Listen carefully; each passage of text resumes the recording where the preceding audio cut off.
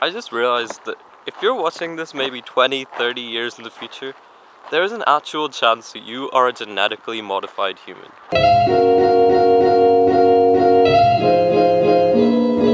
Hey guys, welcome to my Now, genetic editing is one of the most interesting topics in science right now, and it's set to revolutionize the way we do everything in the future. But more on that later. First, how does genetic editing actually work?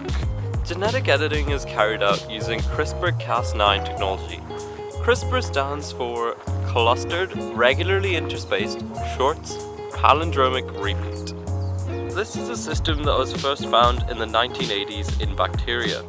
Now, bacteria contain these bits of DNA that are palindromic, which means it's the same when you read it forwards as it is when you read it backwards. And this is like the word mom, or if you're American, mom and in between these there are sections of DNA called spacer DNA. Now this is DNA that's derived from viruses.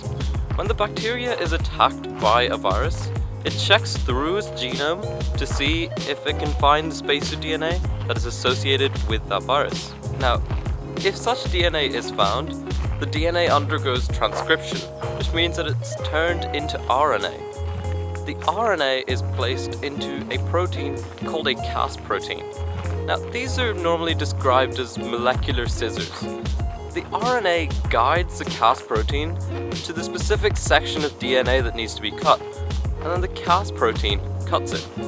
To edit genes, scientists have basically stolen this process from bacteria. They realized that they could program the Cas9 to cut whatever genes they wanted by putting in the corresponding RNA. So they make the RNA and put it into the Cas protein. The Cas protein is then guided by the RNA and it goes and cuts the DNA. Once they cut out a certain section of DNA, they can replace it with another section of DNA. Now, not only is this process incredibly precise, it's also relatively cheap and easy to do, and it's also quite fast as well. This is what makes this technology so transformative so anyone with a lab can do it. Researchers have already used this technology to do a lot of things. For example, they've created mosquitoes that are resistant to malaria, they've created pigs that can grow human organs so you don't need human donors, and they've even used CRISPR to treat cancer. CRISPR can also be used to edit human genes, which is great because you can cure genetic illnesses like hemophilia or Huntington's disease. However, this editing of embryos, it's a huge ethical issue. So far, any embryos that have been edited haven't been allowed to develop into human beings. But as the technology improves, as time goes on, it's looking more and more likely that in the future we will have genetically modified people. Genetic editing might start as a way to cure genetic illnesses, but in the future, we may see the creation of so-called designer babies, that are babies that parents can choose the traits for.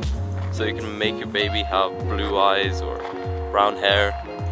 And this, this might be a very slippery slope indeed. Now, CRISPR really is a fascinating topic, and if you want more information on anything I mentioned in this video, I've included the sources down in the description below, so check that out.